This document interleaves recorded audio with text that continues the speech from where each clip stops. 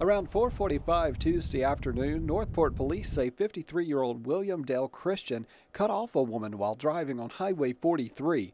Authorities say her husband was following in the car behind and saw the whole thing, so he followed Christian to Northport Electrical Supply Company on McFarland Boulevard.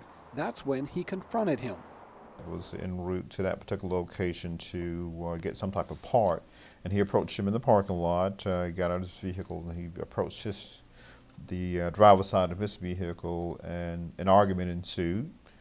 And the suspect pulled a weapon according to the victim and shot him. Chief Green told us the 33 year old victim stumbled inside the store. Christian followed him to see if he was okay. Well, it, it appeared uh, that he was somewhat remorseful because uh, like he followed in, inside the store to make sure he was okay, and he instructed the employees there to call 911. The victim is at DCH Medical Center in stable condition. Christian is now charged with attempted murder. He posted a $50,000 bond this morning. Northport Mayor Bobby Herndon is now asking for West Alabama's prayers for everyone involved. Uh, our thoughts and prayers are with him and his family, uh, that he, he comes out this okay. Mayor Herndon reminds us cases of road rage are common, but not to let them get out of hand like this one.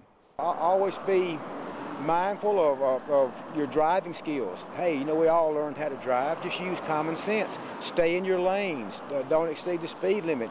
You know, uh, drive like the, the golden rule. You know, you drive like you want everybody else to drive. Chief Green says if you ever have a serious incident of road rage, don't confront the other driver. Just call police and let them handle the situation. In Northport, Daniel Sparkman, WVUA News.